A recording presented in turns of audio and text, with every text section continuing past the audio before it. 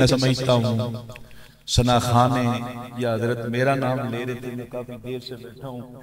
मैं इतनी देर से नहीं बैठा जितनी देर से ये हुजूर के गुलाम बैठे तो दो माता सलाम ने हाँ, सबसे बड़े जो हुजूर के आशिक होते हैं ये दुआए बैठे हैं और फिर दुआए बैठे और स्टेज पे आके कोई सनाखानी करता है नवीद भाई सनाखानी करता है।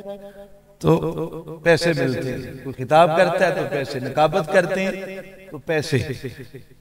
और ये बेचारे ज़मीन पे बैठते हैं ये पैसे मिलते नहीं है बल्कि ये जेब से पैसे निकालते हैं। तो असल आशिक ये है मैं समझता हूँ। आप आशिक हैं। अब टाइम तो काफ़ी हो गया। ऐसे काफ़ी टाइम हो गया है। लेकिन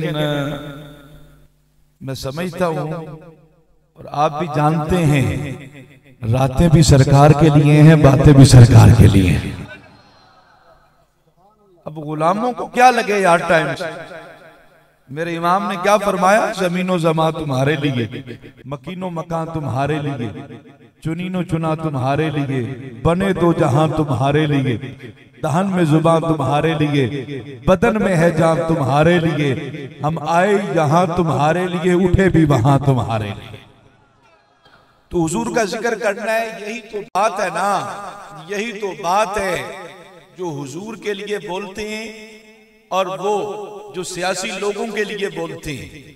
उनमें और इनमें फ़र्क ही यही है यही है। ज़्यादा हो जाता है तो वो उठ के घरों को चले जाती हैं।